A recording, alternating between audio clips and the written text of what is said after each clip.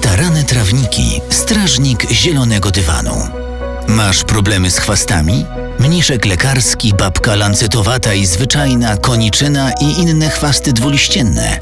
Zastosuj starane trawniki, niezawodny herbicyd. Wnika do liści i dociera do korzeni. Zwalcza chwasty w ogrodach, na polach golfowych i boiskach. Jeden zabieg i masz trawnik wolny od chwastów przez wiele miesięcy.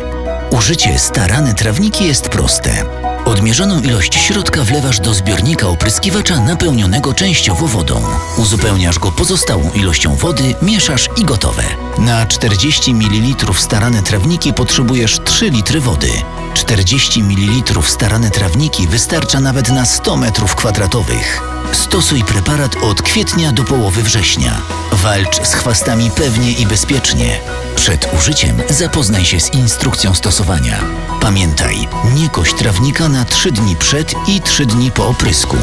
Nie dopuść do znoszenia cieczy na sąsiednie rośliny. Przez 12 godzin nie wchodź na opryskany teren.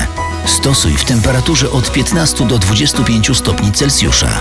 Możesz podlewać już na drugi dzień. Wybierz starane trawniki. Bądź dumny ze swojego trawnika.